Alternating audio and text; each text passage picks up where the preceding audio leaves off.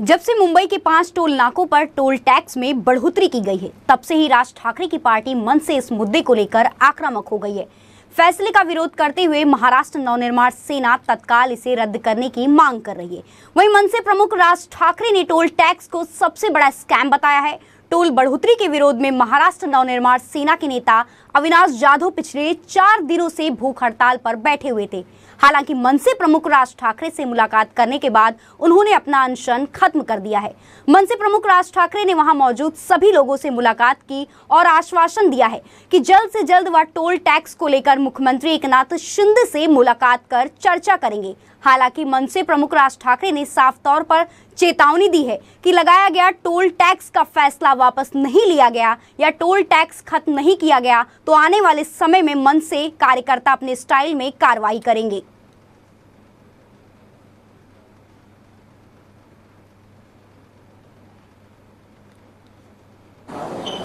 पाचही टोल नाक्यावरती ज्या प्रकारची वाढ झाली आहे. त्याच्या विरोधामध्ये महाराष्ट्र नवनिर्माण सेनेच्या वतीने आमचे अविनाश जाधव बाकी सर्व पुष्कर वगैरे सर्व मंडळी ही उपोषणाला बसली होती.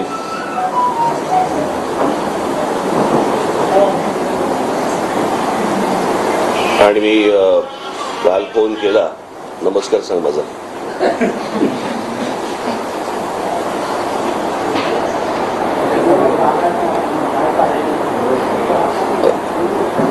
मी अविनाशला काल फोन केला आणि त्याला सांगितलं म्हटलं हे असले उपोषण वगैरे आपलं काही काम नाही. बरं का म्हटलं मी उद्या सकाळी येतो तुम्हाला आठवत असेल तर साधारणपणे गेली अनेक वर्ष या टोलच्या संदर्भामध्ये महाराष्ट्र नवनिर्माण सेना ही यांनी अनेक आंदोलनं केली.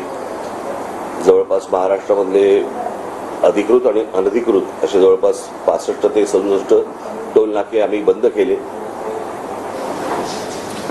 आणि त्याच वेळेला तुम्हाला आठवत असेल तर शिवसेना आणि भारतीय जनता पक्षांची ज्यावेळेला त्यांचा जाहीरनामा आला होता त्या जाहीरनाम्यामध्ये त्यांनी जाहीर केलं होतं की आम्ही टोलमुक्त महाराष्ट्र करू म्हणून.